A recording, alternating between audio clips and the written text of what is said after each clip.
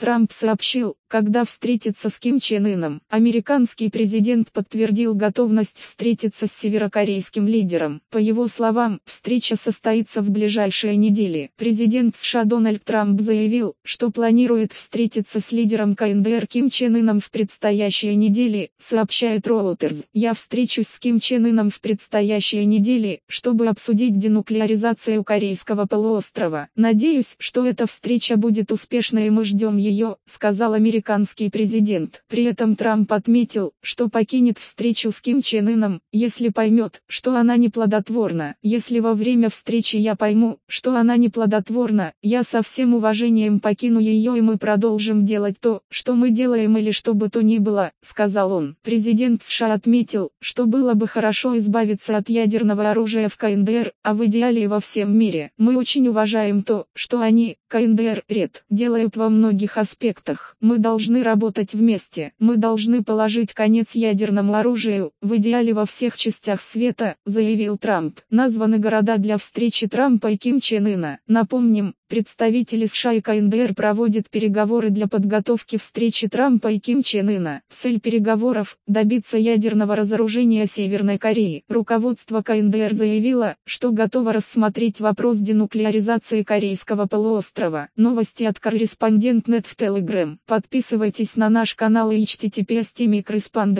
По материалам сайта Newsgro.com.